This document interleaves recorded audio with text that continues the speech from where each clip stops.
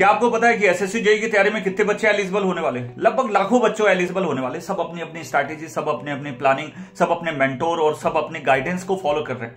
एक चीज़ में है ना, इसमें बहुत बड़ा मुद्दा ये होता है कि कई बच्चे अपनी स्ट्रैटेजी बना लेते हैं, अपनी प्लानिंग बना लेते हैं, पर उसके बाद में बीच में जाते जाते हैं ना, उनको ये लगने लगता है कि यार उनकी स्ट्रैटेजी गलत है। ठीक है? दूसरों की थाली में परोसा हुआ खाना है ना, हमेशा इंसान को ज़्यादा अच्छा लगता है। एक चीज़ बस मैं बोल देता हूँ कि यदि आपके पास जो भी स्ट्रैटेजी है ना, उस पर ट्रस्ट करके आगे बढ़िए। ये नहीं होना चाहिए कि बीच में असमंजस की स्थिति में आके आप उसको छोड़ दे रहे हो और फिर एक नई स्ट्रैटेजी फॉलो कर रहे हो। मतलब आपके इतने दस से पंद्रह दिन जो आपने, पचहत्तर दिन में से आप देने वाले हो, वो भी आपने खराब कर दिया इसलिए आराम से बैठिए, एक दिन लीजिए, पर उस स्ट्रैटेजी को इतनी अच्छी बनाइए कि आपके आने वाले समय आपको बस केवल मेहनत करनी पड़े, ये नहीं सोचना पड़े कि यार गलती कर दी।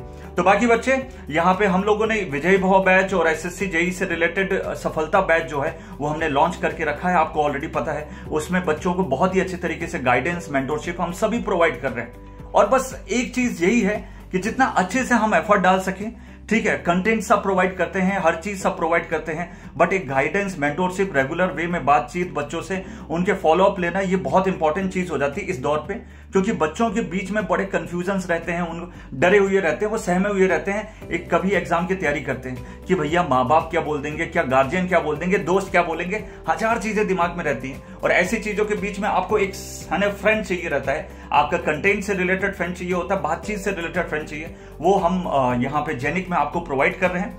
आप हमारे इन बैचेस के थ्रू जुड़ सकते हैं, जो अभी बहुत ही अच्छे ऑफ़र के साथ चल रहे हैं। आज उसकी लास्ट डेट है। यदि अभी भी कोई बच्चा जो हमसे नहीं जुड़ा है, वो जुड़ सकता है और बहुत आगे कर सकता है अपनी लाइफ में।